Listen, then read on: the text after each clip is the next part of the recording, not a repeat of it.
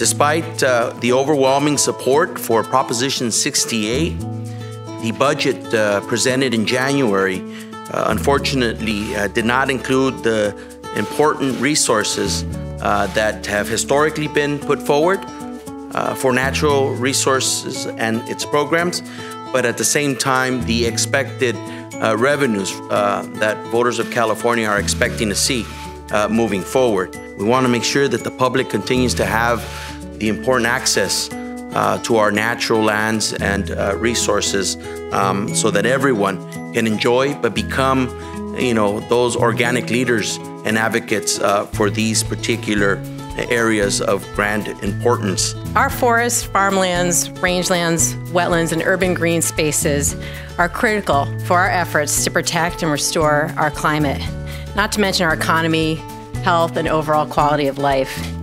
These efforts require significant funding for programs that can support landowners, local communities, children, governments, and conservation organizations across the state. I want to really emphasize the moment here as a chance to invest in natural working lands, that this is essentially money we can put in now that will provide exponential benefits over time.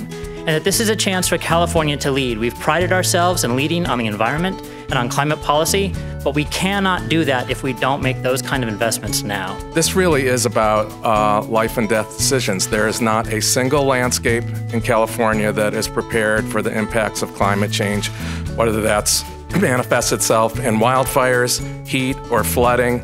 These investments to the natural resources programs are extremely critical to our immediate future. We need these investments now. With the significant increase uh, in climate change and its impacts, uh, now is not the time to slow down our investments in our critical natural resources programs that will help mitigate the impacts and make us more resilient uh, in the future. When we protect nature, nature protects us.